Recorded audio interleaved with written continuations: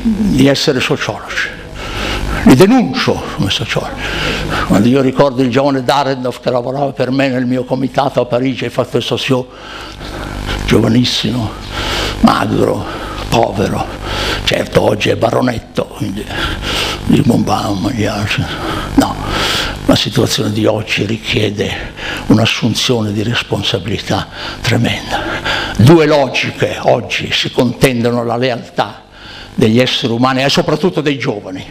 C'è una logica tradizionale che chiamerò logica della lettura e della scrittura, logica cartesiana, una logica analitica che richiede tre fondamentali presupposti. Silenzio, solitudine, concentrazione la logica della lettura, l'analisi del libro, valutare se le conclusioni vanno d'accordo con le premesse.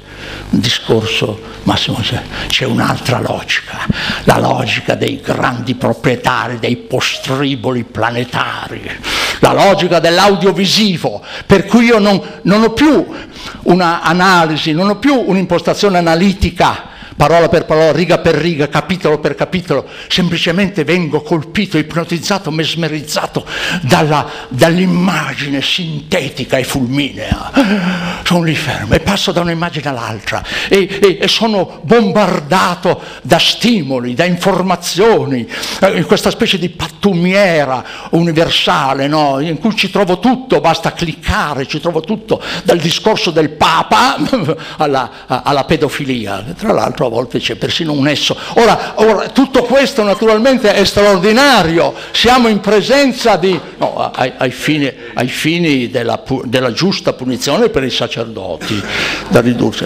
Ora, ora noi abbiamo, il giovane d'oggi è talmente ricco di informazioni da essere povero, non riesce a organizzarle secondo un piano razionale, secondo una priorità.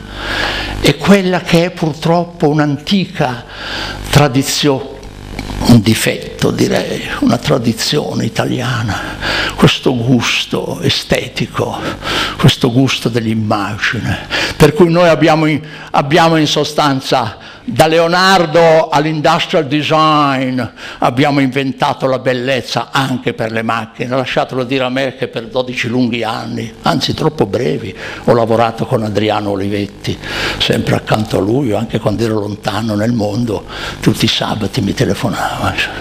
Eh, io ho visto, noi, noi purtroppo abbiamo una gioventù che si butta sull'effimero ed è vittima inconsapevole dell'eterno ritorno dell'identico, della creazione artificiosa dello spontaneo, a caccia di nuovi esperimenti, di nuove sensazioni che la inaridiscono, la distorcono, la disorientano e la riducono a una sorta di gregge incapace di presa di posizione, con questa tana primitiva che è la tecnologicamente avanzatissima discoteca, con questa disperazione che poi eh, si manifesta nei grandi incidenti per le autostrade alle 5 del mattino, all'alba del nuovo giorno.